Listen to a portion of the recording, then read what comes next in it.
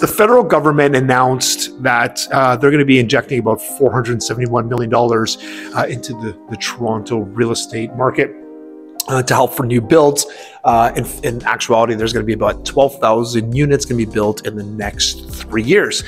So the question I got from a lot of people is, how is this going to affect the uh, the real estate market here uh, in Toronto? So let's be honest, uh, the last number of years we've had a supply problem, and that you can tell that's why we had when the interest rates were dropped so low, the market went crazy. We still have that problem. We're still only producing properties now uh, the same amount that we were producing maybe 25 years ago at the same rate, and since then we've had a huge influx of amount of people uh, coming into Canada. Over 500 million people come into Canada, I think, this past couple of years, and roughly about one third stay in the GTA. These people needed a place to live, so you know the, the 13 or 12,000 units of which they're going to be in the next are going to be built the next uh, few years is going to help those looking for uh, the idea is to help them looking for rental units.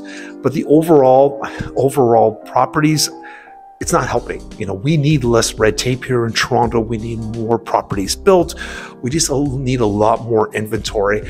And yes, it's a step in the right direction, I guess, for rental properties, but for resale and for sales, I would say no. And the other problem is most of the builders that are building here in Toronto are building condos because they can make more money based on density.